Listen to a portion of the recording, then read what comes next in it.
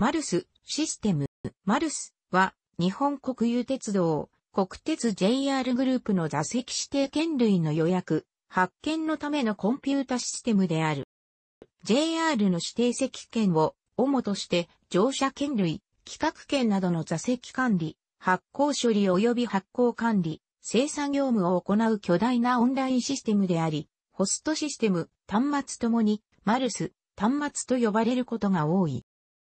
名称について、もともとは、磁気的電気的自動座席予約装置の略とされていたが、現在では、旅客販売総合システムの略となっている。ローマ神話の軍神マルスにかけたネーミングでもある。アルファベットでは、マーズと書くが、一般には、カタカナで、マルスと表記される。2008年には、マルス1が、電子計算機技術のオンラインリアルタイムシステムへの応用の可能性を示したこと、現代でも実際に使われているシステムへの発展の基礎となったことを評価され、電気学会の電気技術検証制度第1回電気の礎に選定された。また、2009年には情報処理学会により情報処理技術遺産として認定された。中央装置、ホストコンピュータは東京都国分寺市にあり、国鉄分割民営介護は鉄道情報システム株式会社 JR システムが保有、運営している。中央装置で一括管理する集中系を採用しており、中央装置は歴代日立製作所の大型コンピュータ、超大型コンピュータが採用されている。2018年現在使用しているマルスは、マルス501である。もともとは、鉄道ギップ、乗車券類の発売のために開発されたシステムだが、現在では、乗車券類だけでなく、宿泊券、遊園地や展覧会などイベントの入場券等の販売も行えるようになっており、かつては航空券を取り扱ったこともあった。JR の鉄道駅や旅行代理店、緑の窓口に設置される端末、MR 端末、東日本旅客鉄道、JR 東日本では MEM 端末、MEX 端末イコール JR 東日本の子会社である JR 東日本情報システムが JR 東日本向けに開発した端末が主流とは、鉄道情報システムが管理する JR ネットなどを経由し、ホストと接続されている。また、JTB 系や日本旅行、近畿日本ツーリスト系など、大手旅行代理店の旅行業システムともオンラインで接続されており、接続されている旅行会社に設置されている旅行業端末においても JR の指定券などを発売することが可能である。端末で管理されている座席は JR の新幹線や特急列車や急行、快速、普通列車の座席指定席を中心にドリーム号など JR バス各社及びこれらと共同運行する高速バスの座席指定席なである。バスの座席については、JR システムなどで新たに開発された座席予約管理システムである高速バスネットに移行する方策が取られている。詳細は口述。また2015年6月30日まで日韓共同切符を発売していた関係で大韓民国の KTX の座席も管理していた。マルスのシステム稼働時間は日本標準時で4時から翌日2時までである。乗車権原子については、偽造防止のため、原子表面にへ JR マークと事務用、旅客会社別にアルファベットで1文字、北海道イコール北、東日本イコール E、東海イコール C、西日本イコール W、四国イコール S、九州イコール KJR の駅以外のマルスで発される場合は、当該地域の JR 会社のあざ模様が入ったものを使用と JR ロゴが浮かび上がる線像が施されており、カラーコピーをした場合において、新券と偽造券の識別が簡単にできるようにこう、されている。磁気定期権限紙については前日のようなドラム型のロール紙タイプではなく、樹脂型の横 85mm にカットされた用紙をしており、乗車権限紙以上に偽造防止策が施されている。また有効期限内であれば、劣化による券面の印字が不鮮明な場合などは、購入駅で無償で交換してもらうこともできる。旅行会社では、JR 定期券の発売はないので、旅行会社向け端末では削除されている。切符をマルシステムと接続して発見するための端末として、駅員が操作するタイプ、鉄道情報システム、JRS 製品、MR 型、JR 東日本情報システム、JICE 製品、ME 型と、顧客自身が操作するタイプ、メガボルト型の2つに分類できる。これらは JR 各社の様々なニーズに応じることができるように JR 東日本における Suica、JR 西日本におけるアイコカ対応などシステムや機能が拡張されている。また、クレジットカード会社の信用紹介ともオンラインで接続されており、カード決済による発見の際には信用紹介端末としての機能も合わせて持つ。なお、端末は日立製作所製のほか、一部に日立と同じく不要グループに加盟する、沖電機工業製も存在する。沖電機製は、メガボルト30端末やメガボルト50端末、JR 東日本の MEM 端末、MEX 端末で主に使用されているほか、M 型端末は日立製作所と共に2社で製造していた。JR 鉄道駅や旅行会社の緑の窓口の端末に、駅員や旅行会社係員が端末を操作し、列車や座席、条件等を指定することにより、端末に接続されたプリンターから自動的に切符類が発見される。端末から出力される切符は、ほとんどが自機化券となっており、発売された切符の内容が、マルス端末による自動控除、払い戻し処理用と自動改札機用の情報それぞれにエンコードされ、記録されてる。発売された切符のうち、定期券サイズで切符に、丸印の中に、×のマークが入った切符や、自動改札機を通過できない旨明記された切符以外は、原則として、全国の JR 各駅の自動改札機を通過することが可能である。端末の種類としては MR 型、ME 型になる。JR 発足直後にもトラビルディ端末施行されていたが、2000年代に入ってからは利用客が自ら操作できる指定席券の発見や座席の指定機能を持った指定券自動券売機メガボルト端末も主要駅に設置されるようになった。ただし、設置箇所や設置旅客会社の方針により発売品目や列車は限定されている。現金のほか、クレジットカードによる決済にも対応している。また、駅員が使用する MR 型は、日本標準時10時から1ヶ月先の指定券が発売されるのに対し、メガボルト型は10時10分からの発売となる。旅客向けの名称は、JR 北海道や JR 東日本では、指定席券売機、JR 東海では、エクスプレス券売機、JR 西日本では緑の券売機である。端末の種類としては、メガボルト型、ER 型になる。メガボルト端末筐体のカラーは会社ごとに異なる、北海道、今東日本、薄紫、東海、青、西日本、四国、黄緑九州、白。JR 西日本の一部駅には、お客様センターから対話遠隔操作タイプの緑の券売機プラスのほか、E5489 エクスプレス予約受取専用の緑の受取機などが設置されている。また、かつては JR 東日本の一部駅にも対話型端末のもしもし券売機カエル君 ER 端末が設置されていたが、インターネット注文から受け取り対応用、エキネットに刷新された。設置駅によって発売内容が異なるイカ係員操作が必要な部分。マルスが開発される以前は予約列車の始発駅が属する指定席管理センターで列車ごとに非別の指定席台帳を作って各列車の指定席を管理していた。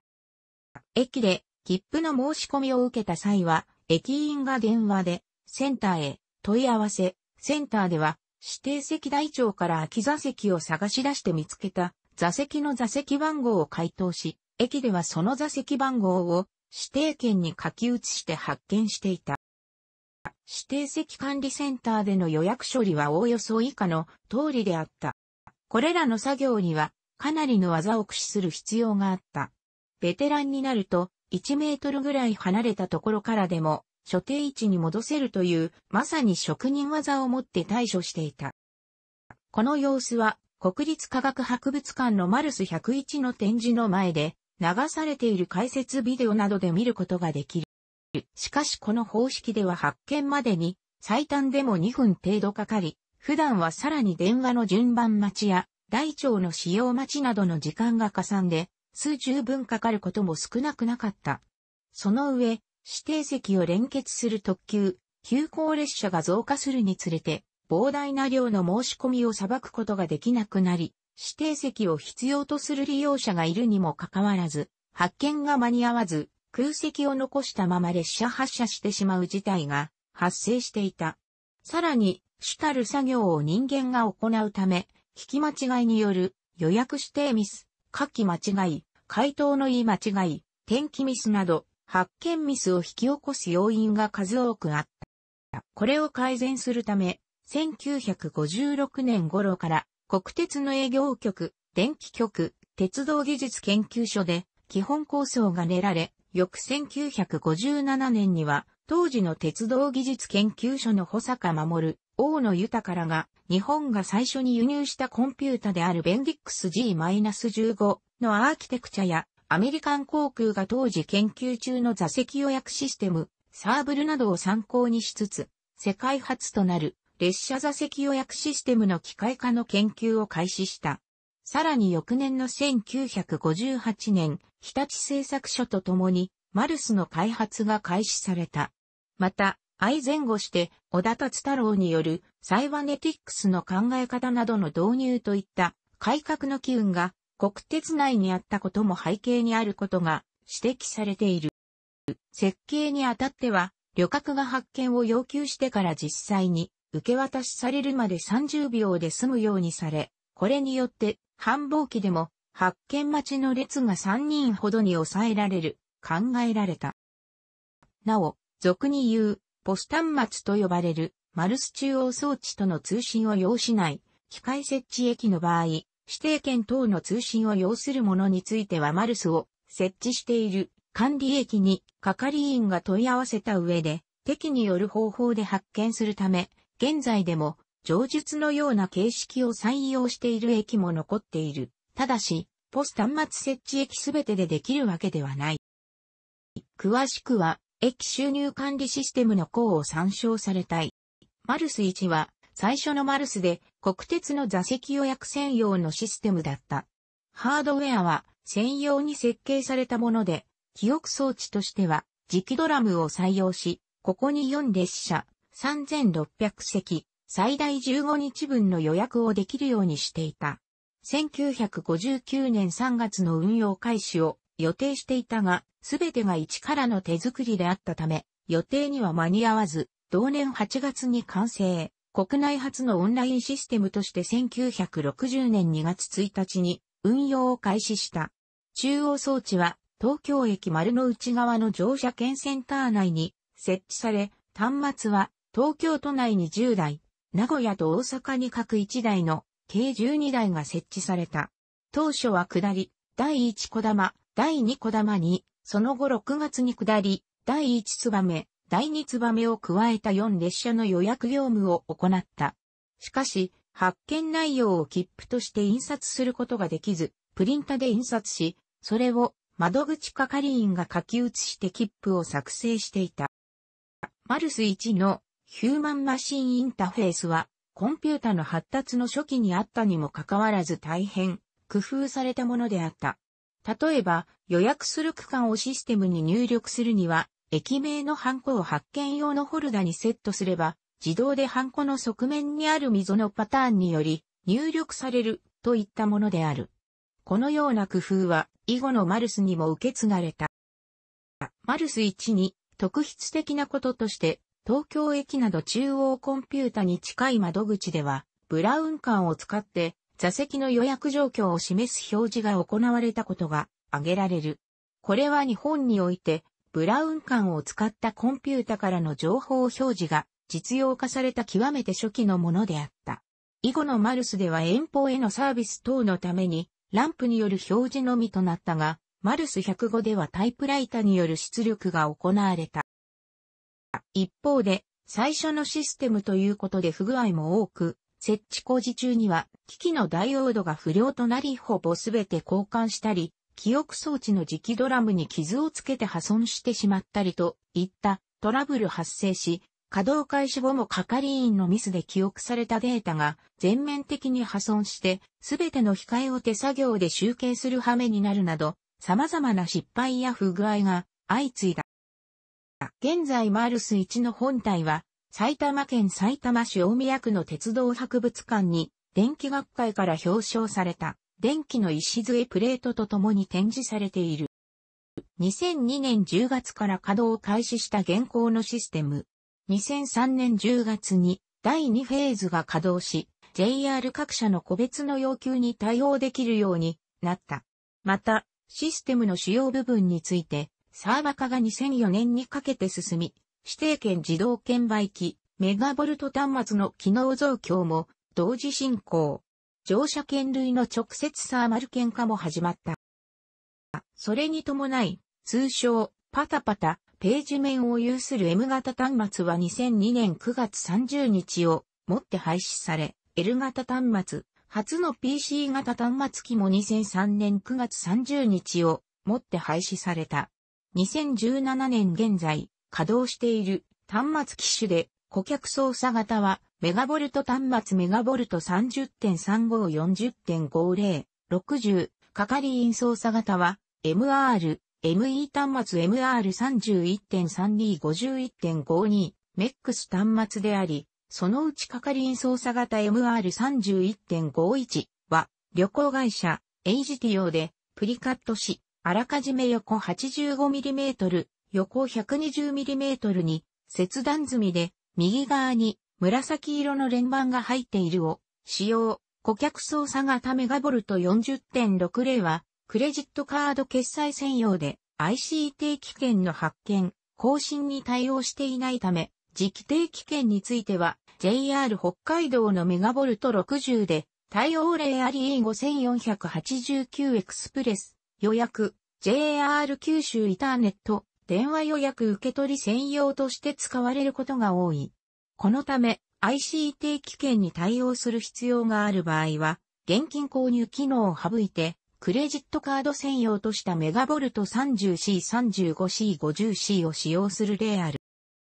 また、メガボルト40.5060、MR31.3251.52、MEX は、従来からあったカセットリボン、熱転写による印刷から関熱印刷方式になった。メガボルト35系列はカセットリボン式と関熱印刷式の双方が存在し、メガボルト35がカセットリボン式でメガボルト 35C、クレジットカード専用メガボルト 35D、現金対応が関熱印刷式である。関熱印刷式の端末では二色印字に対応した特殊な関熱紙が使用されている。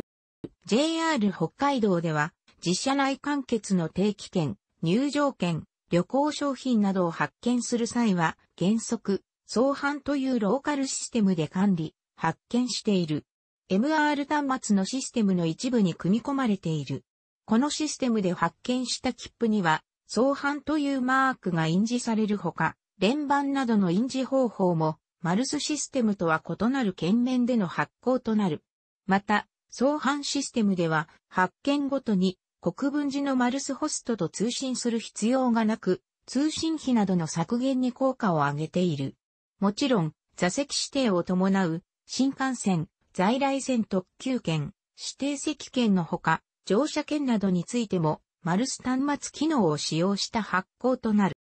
JR バスグループでは、列車とは異なるバス特有の事情や、マルスがコンビニエンスストアのマルチメディアステーションやインターネットなどと接続されていないなどの理由から、マルスとは別に JR バス関東、JR 東海バス、西日本 JR バス、JR システムによって高速バスネットが開発され、2006年から稼働しており、ドリーム号などの高速バスネットでの予約や購入には、路線や条件によって運賃を割り引くなどの特典を実施している。これに伴い、マルス枠を廃止する路線も増えてきている。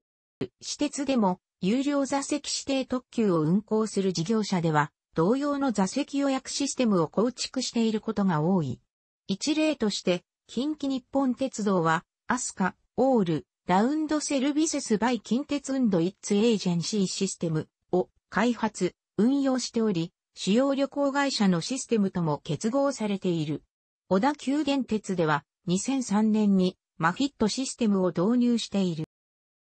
航空会社の座席予約システムは総称として CRS コンピューターレザーベーションスシステムと呼ばれる。JR グループの乗車券類委託販売基準規定により以下のように表記される。楽しくご覧になりましたら購読と良いです。クリックしてください。